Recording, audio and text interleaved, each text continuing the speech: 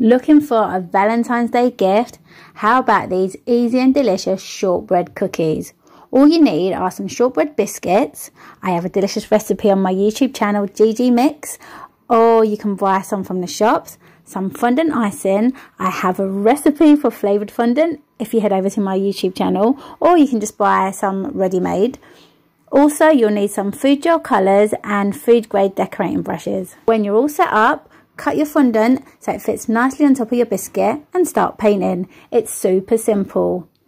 And you can do it with the kids too and let them get as creative as they like. If you'd like a more detailed tutorial on how to paint roses on fondant, then head on over to my YouTube channel for an in-depth tutorial. Everything's on my YouTube channel. Oh, well, while you're there, you might as well subscribe too. If you do, thank you. And if you make these cookies, please tag me in them so I can see your remakes. Bye!